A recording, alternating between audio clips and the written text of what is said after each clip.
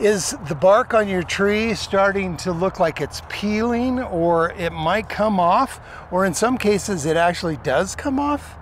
Well, it's important to know the species of trees because every tree is very different in the way that the bark matures as it gets older.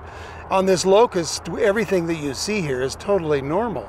On something like a London plane or a sycamore, it'll actually let that bark, that outer layer, fall off completely.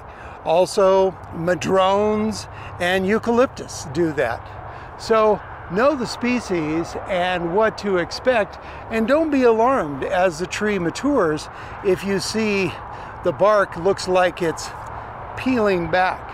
Now, if it exposes the interior heartwood, that's a different story. You've got a tree or a branch that might be dying, and it's worth getting an expert consultant out to have a look and get a proper diagnosis.